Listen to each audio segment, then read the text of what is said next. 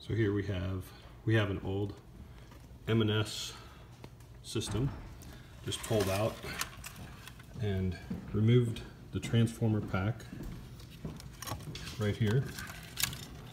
Now it is a 16 VAC transformer but is what we've done is hooked it up to a ring. We took the leads from the actual doorbell, comes down to one side goes to the transformer, one side goes to a relay with the power module right here. So this relay switch isolates the two circuits.